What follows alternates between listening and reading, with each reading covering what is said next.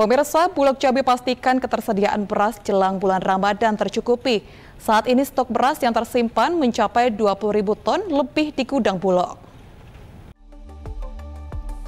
Jelang bulan Ramadan tahun ini, Bulog Jambi pastikan kebutuhan bahan pokok masyarakat tetap tercukupi, baik gula pasir, minyak goreng maupun beras.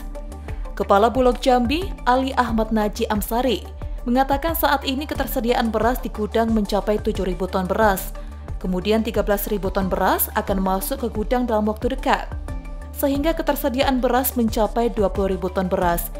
Kebutuhan tersebut diperkirakan cukup hingga 3 bulan, bahkan 5 bulan ke depan.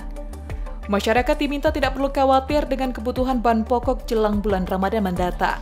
Bulog Jambi siap mencukupi dan memenuhi kebutuhan masyarakat dengan harga yang terjangkau.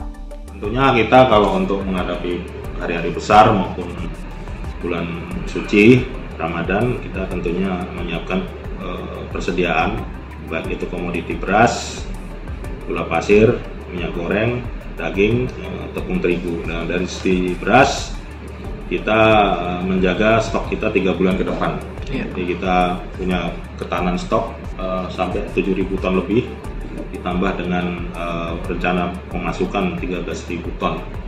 Jadi kita menjaga stok itu uh, 19 hampir 20 ribu ton untuk kebutuhan eh, tiga eh, bulan bahkan bisa sampai lima bulan ke depan.